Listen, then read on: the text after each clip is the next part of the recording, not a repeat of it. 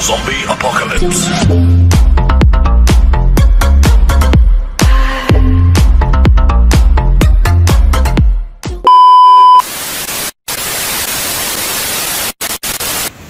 For today's Digima quiz, mag-change oil tayo ng Bergman. Yes, the, the owner is Lady Rider at the back. Yeah, man. That's what it is. MB. Yes. Gold bolts from this vehicle. Like this. Yan, oh. See that? Dito na sa Suzuki. So ayun mga quiz, kakasabi lang ni Papa P na anong gagawin mo sa Birdman? Magje-change oil. So para sa kaalaman ng karamihan at pangkalahatan na, ilang kilometrahe ba dapat magpa-change oil ang isang Bergman scooter? Pare, kung kaalaman nyo lang, every 4 months or 4,000 kilometers, kung brand new yung motor nyo.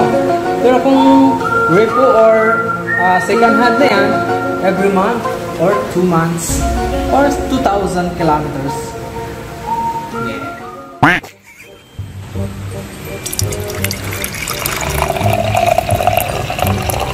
Ay, tang mukha.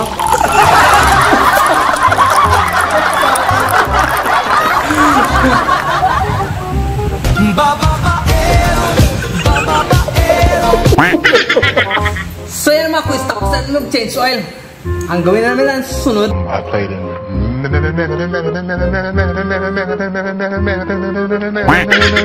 ay mag-change ng spark plug. Every 8,000 kasi yan mga quiz. So my air cleaner naman is every 12,000. So here we go. So ayan ang mga quiz. Yung gear oil pala, eh, uh, that you um you had you ang ratio na magpa-change oil niyan is 4 is to 1. Magpa-change oil ng kaapat, ikaisa yun ang kung gear oil. Nagkakalot talaga yung friend mga quiz pero naiintindihan niya naman siguro mga quiz ano so bear with him bear with Pops Fern yeah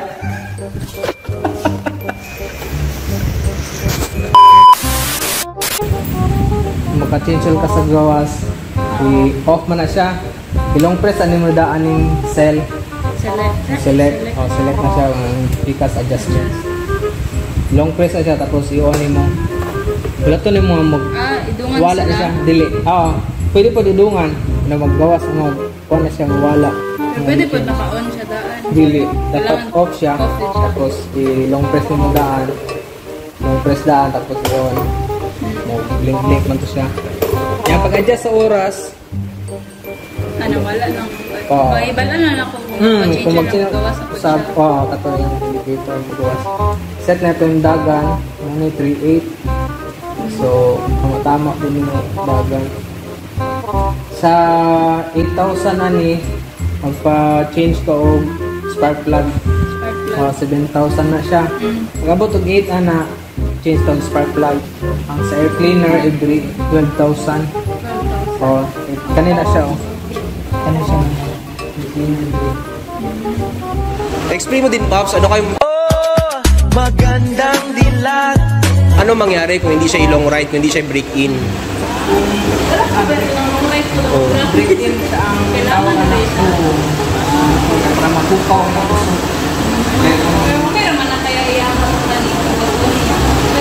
Mahirap pag agad ang starter ma'am, dapat makabreak in ka ma, i-kick siya. At iyan ko na Start. po. Start na. Mo gina importante kay mo gina gamito nimo kada buntag na pa. Ah, kada buntag. Kaya naman is 10 hours na. Bugat lagi kayo ko magsapatos ko. Sa iyong ngiti Ako'y nahuhumali kung tulad kayo sa gana ako. Oh, Here I come, oh. here I come. Hindi, basta pa mag-center stand ka, ma'am, yung lahat ng weight mo, ilagay mo sa kanya. Oo. Bugat, hindi siya doon. Bugat, ano kayo. Oo. Or alalay, alalayan mo rin din dito. Oo. Dapat morning yun, i-kickstart Oo. 10 times. Oh, yung grab previous mo, yung nahanap ko siya nga ko morning kay ang purpose ang oil ana, natulog di ba ka, matay ka na mga oil, natulog ko na. Mo po niya ang sa motor, pag tulog ko na. Dapat dinakik na siya para ang oil pukaw, para musaka o kuwan sa head niya. Niya, naka-off siya pagka king mo.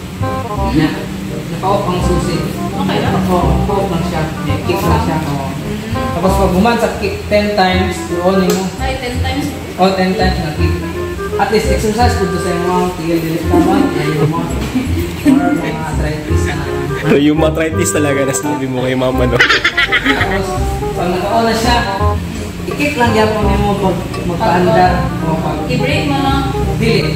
I-kick lang siya. Kung mandar na siya, pag naka-on na siya, i-kick lang. Sample.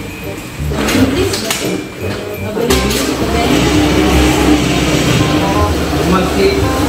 Wala to yung mga mandar. Dapat 3 to 5 minutes.